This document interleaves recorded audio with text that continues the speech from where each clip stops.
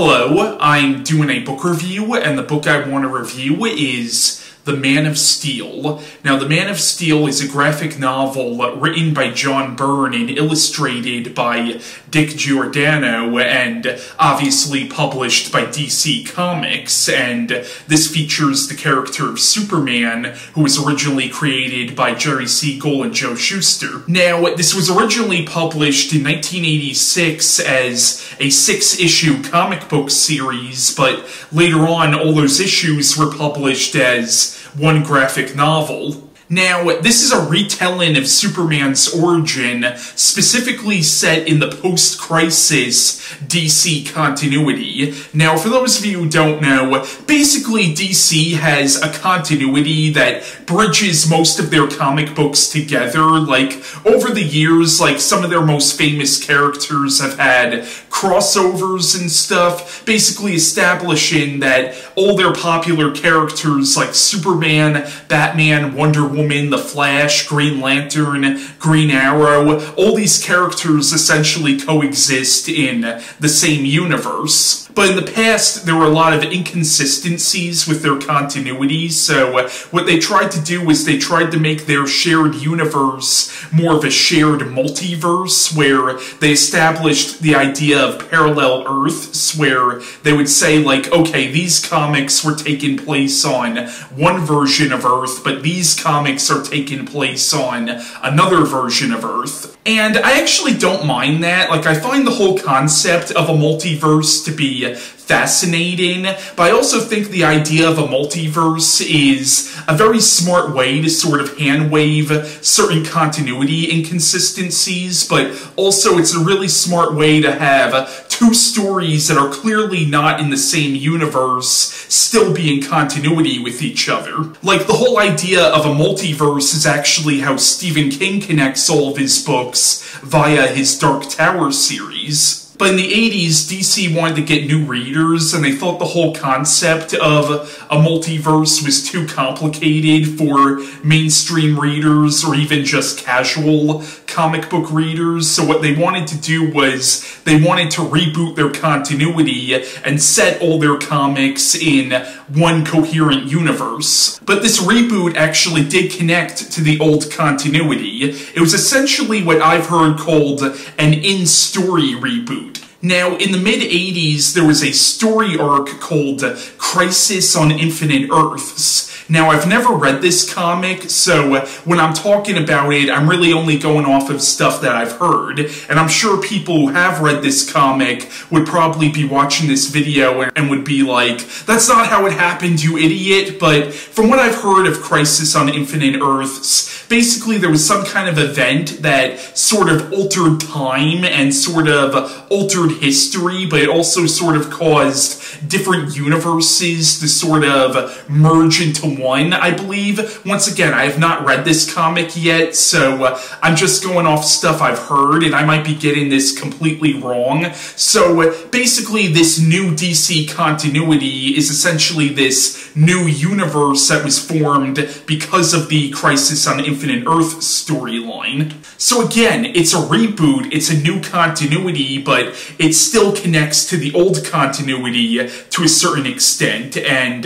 this story is set in the new timeline. And for a while, this was actually considered to be the definitive origin for Superman, kind of the same way that Frank Miller's Batman Year One for the longest time was considered to be the definitive origin story for Batman. Now, I know there were later Superman comics that kind of contradicted this one, and of course DC rebooted their timeline all over again a couple of years ago, and I understand why DC does their constant reboots. At the same time, though, that's kind of part of the reason why I don't really take their continuity that seriously. And as I pointed out in my review of Alan Moore's Whatever Happened to the Man of Tomorrow, because these are characters who have been around in comics since the 30s, at that point you kind of have to pick and choose what's canon and what isn't canon, and usually when I read a Superman comic or a Batman comic or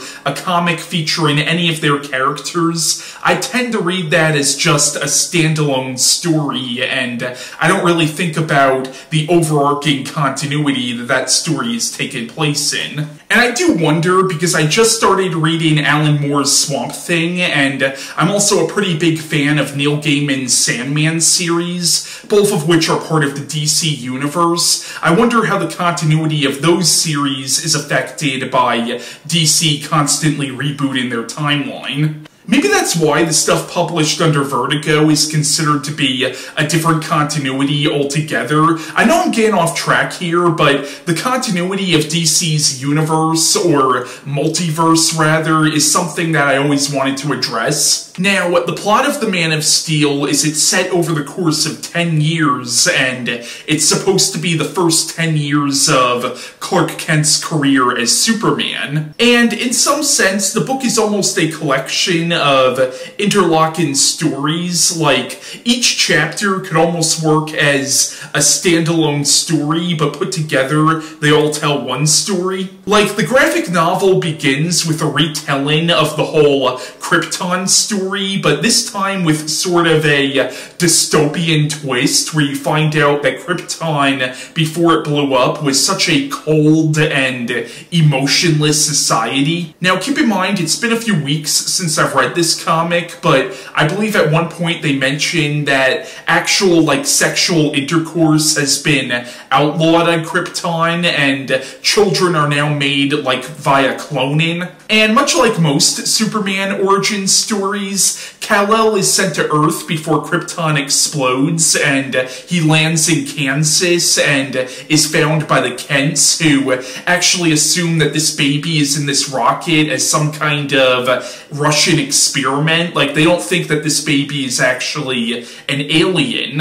And then it jumps ahead years later when Clark Kent is a teenager and he realizes that he's different. Like, he realizes that he has special powers, but he doesn't realize yet that he was actually adopted by the Kents. And then Jonathan Kent tells him where he came from or where he thinks he came from. But one thing I thought was interesting about this is Superman doesn't actually find out till very late in this story that he's actually an alien. At first, he assumes that he's some kind of genetic mutant. But you see, as Clark gets older, he decides to actually use these powers he has for good, and he takes on the Superman persona and saves a bunch of people in Metropolis, and this takes the world by storm because now the world is shocked that a being like Superman actually exists. And you see Clark become a journalist at the Daily Planet, and in the story, you see Superman's first meeting with Lois Lane, and then him meeting Lois again as Clark Kent. Like, you see Superman meeting Batman for the first time in this continuity.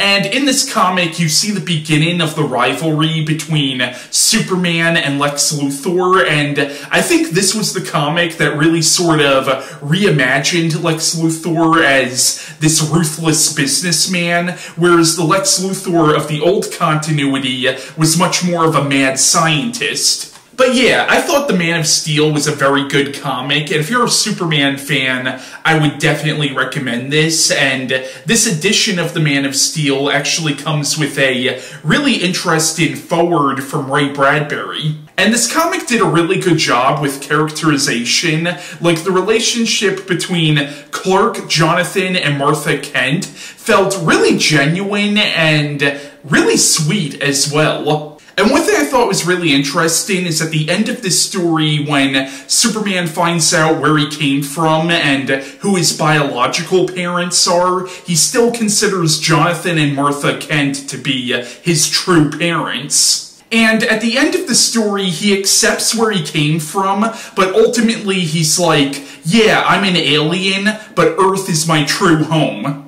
And there's a scene at the end of this story where Superman is confronted with a holographic projection of Jor-El, his biological father, and then Jonathan Kent, not realizing what this is, hits this with a shovel, causing this to disappear, and I thought that was actually a really profound moment. And I feel like that moment establishes who Superman's true father is. Sure, Jor-El was his biological father, but his true father was the one who raised him. This comic also explores the relationship between Clark Kent and his childhood friend, Lana Lang, and I actually thought their relationship in the story was actually kind of heartbreaking. Because Clark does actually reveal his powers to Lana at one point, but then years later he sees Lana again and she tells him that this was devastating for her because when she realized what Clark actually was, she realized that she could never be with him. Again, I think it's a very good Superman story. If you're a fan of this character, I highly recommend this. Now, Jeph Loeb did a Superman graphic novel in the late 90s called Superman for All Seasons, and that comic was, in essence, kind of a sequel to this comic. Like, it was supposed to be taking place more or less at the same time as the events of this story. And you could definitely see where the movie Man of Steel took a lot of inspiration from this comic, especially like the whole dystopic aspect of Kryptonian society. But yeah, that was my review on The Man of Steel, written by John Byrne and illustrated by Dick Giordano, and bye.